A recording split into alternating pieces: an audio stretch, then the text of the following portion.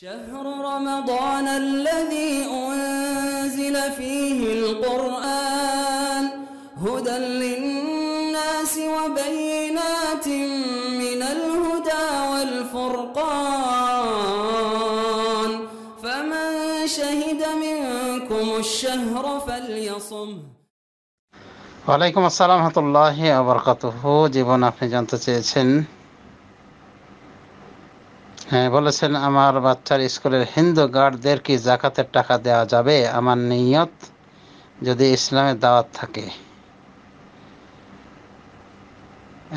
বিষয়টি আমরা ব্যাখ্যা করে বলব যে, মহান আব্বুল আলমিন সুরা আত্মাওবার ষাট নম্বর আয়াতে যাদেরকে জাকাতের হকদার হিসেবে উল্লেখ করেছেন, তারা হলো আটজন অর্থাৎ আটটা খাত। এর ভিতরে একটা খাত হলো আল মোয়াল্লাফাতে কলুবহম। এবং যাদেরকে আকৃষ্ট করা হয়, যাদের হৃদয়কে আকৃষ্ট করা হয় ইসলামের দিকে। এর ব্যাখ্যায় ওলামা একরাম বলেন যে, যার নিকটে ইসলামের ক্ষেত্রে সুধারণা রয়েছে, ইসলামের প্রতি আকৃষ্ট আকৃষ্ট ভাব আগে থেকে, ইসলামের বিষয়ে তার অবস্থান ভালো দেখা যাচ্ছে, তো তাকে আরও আকৃষ্ট করার জন্যে জাকাত দেওয়া যেতে পারে।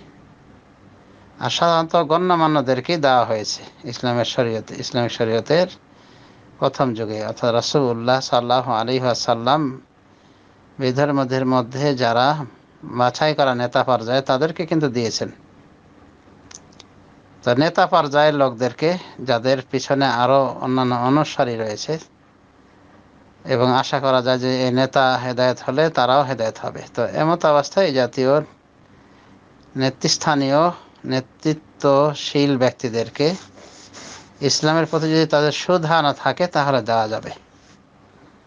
অনুভবে ন মুসলিমকে দেওয়া যেতে পারে, ইসলামে যাতে করে সাব্যস্ত থাকে আরও সাবেত থাকে, অটল থাকে। আর এমনি একটা হিন্দু তাকে জাকাত দেওয়া যায় না, বিধর্মীকে জাকাত দেওয়া যায় না। সুতরাং সতর্কতা অবলম্বন জরুরি। তারা স্কুলের গার্ড, সাধারণত স্কুলের গার্ডদের শিক্ষা দীক্ষা এমনি কম থাকে।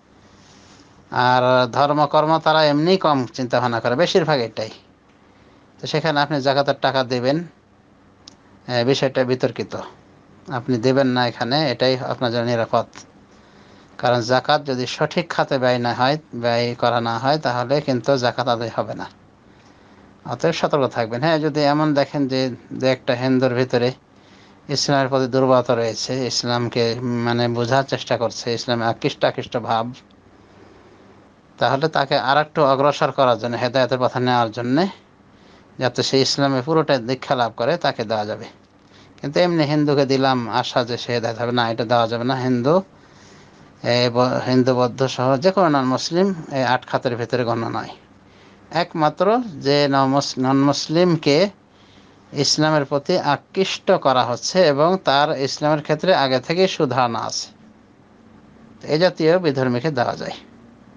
বা ন মুসলিমকে দেওয়া যায়, যার ইসলামের, ইসলামে কেবল দীক্ষা হয়েছে এবং হয়তো বা তার ইমানে দুর্বলতা লক্ষ্য করা যাচ্ছে আর জাকাত দিলে সে ইসলামের সাবেত থাকবে তাই জাতীয় ব্যক্তিকে দেওয়া যায়।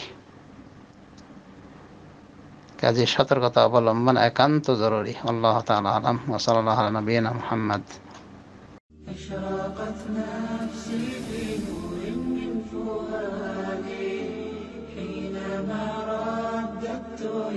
ربنا